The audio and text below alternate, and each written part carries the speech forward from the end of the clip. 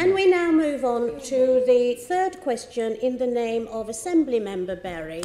Um, that says, how does London's policing support our human rights? Assembly Member Berry, who would you like to start? Uh, um, to, to the Commissioner initially, from? please.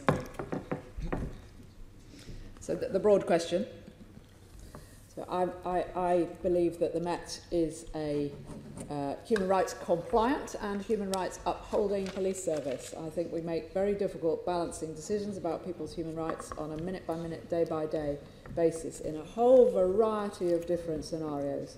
The officers are well trained, uh, they are highly professional, uh, and uh, this is a uh, city in which people's rights are, broadly speaking, upheld, and most certainly by the police. Okay, thank you, Commissioner. Um, I want to follow up um, and discuss the uh, principle of policing by consent. Um, I know you know them, but the so-called Peel principles set out the definition of this. And I'd like to ask specifically about the fourth principle, which says to recognise always that the extent to which the cooperation of the public can be secured diminishes proportionately the necessity of the use of physical force and compulsion for achieving police objectives.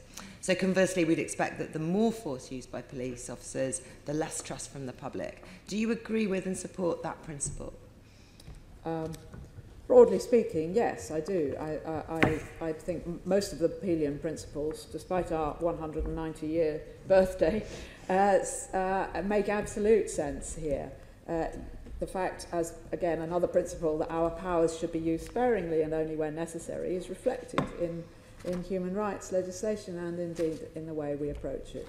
Of course, some people, as I indicated in relation to protests, some people will think that more force should have been used, and others will have think, think that less force should have been used, or less intrusion should have been used into privacy in a different, in a variety of situations. So our job is to try to a stay within the law, of course, uh, and, and uh, B, to get an effective policing job done within the law, which does on occasion require force, proportionately, and does on occasion require intrusion.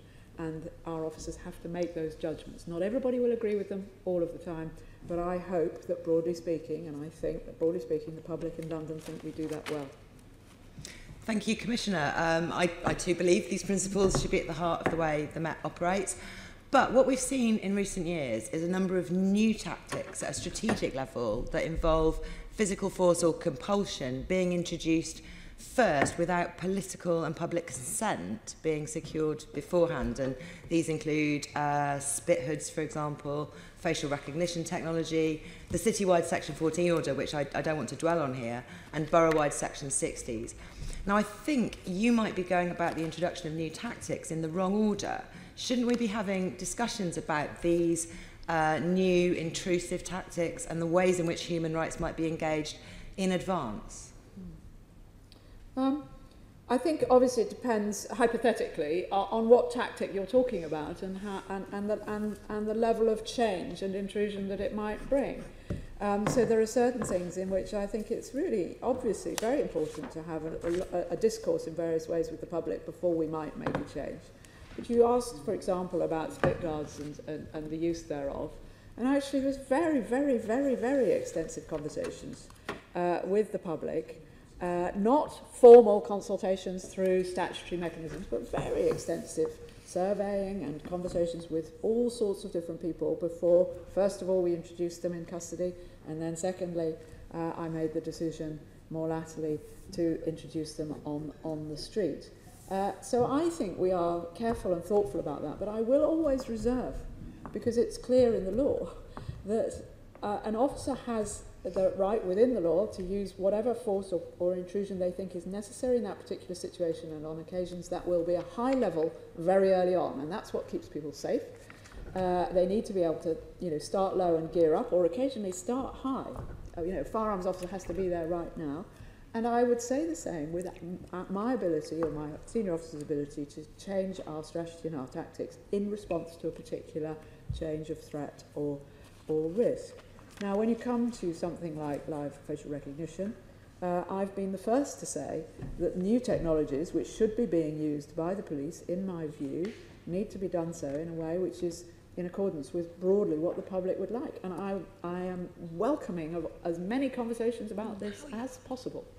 Uh, and I think we need to have a dialogue. But what would be a disgrace is if we get to 2025 and we've, we're still talking and nobody is making any decisions about how we go forward. And I do have freedom as the Commissioner to decide operationally what tactics we will deploy, what new technologies we might wish to use, and I will always want to do that with the support of the public.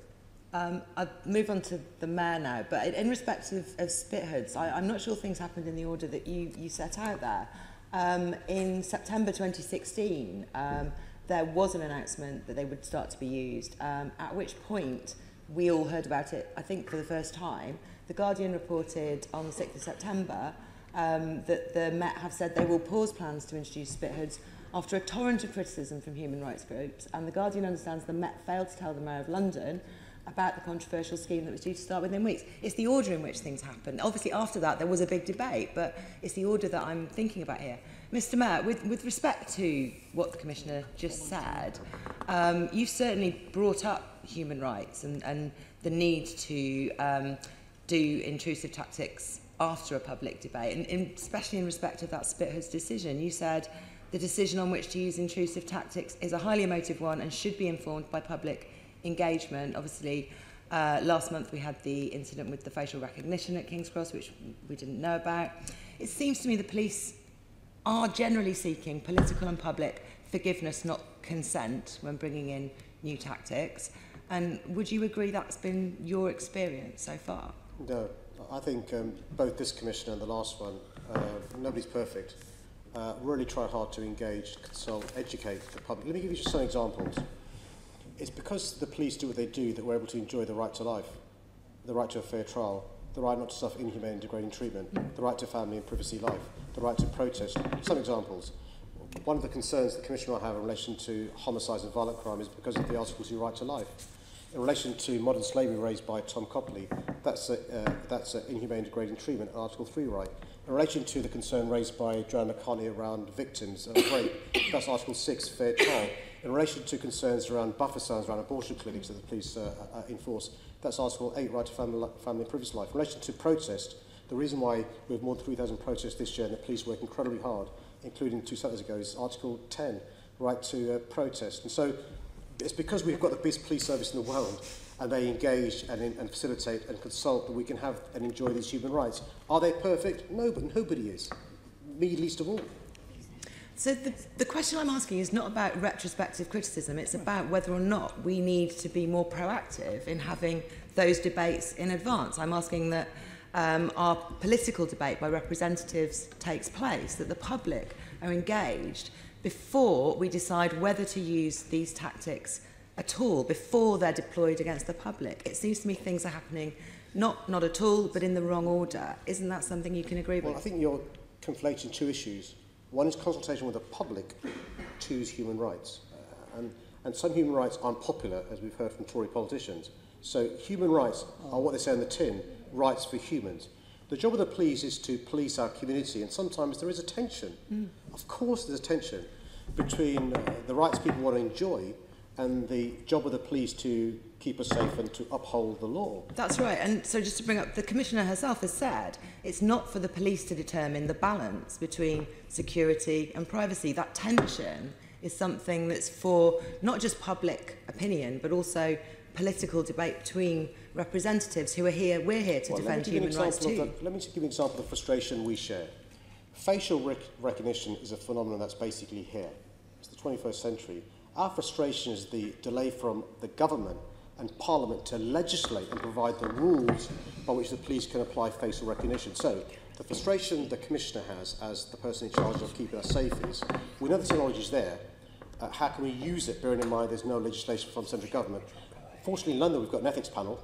They've made recommendations, and to give the police their due, they're, they're applying the recommendations made from the ethics panel before they roll out facial recognition. And the other point is this. Mr Mayor, you spent two years on the streets ahead of any decisions being made on a political well, I'm sorry. I'm, I'm really sorry, that's just wrong. The, what the police could have done is to roll out blankly facial recognition. They chose not to do so. Instead, instead, they chose to do is have pilots and trials. They're damned if they do and damned if they don't. What they then, what they then did was said, you know what, the ethics panels have made recommendations. We're going to follow those recommendations and pause until we can do so. I mean, I think you've got to give some credit to our police service who've got a really difficult job, job in relation to making sure they uphold the law, but also respect uh, and make sure we can enjoy mm. our human rights. And the problem is the delay in legislation from national government and our parliaments. I just, I just Thank have got to stop now, but I just no, hope we can get the, the balance of the order right in future. Time's up.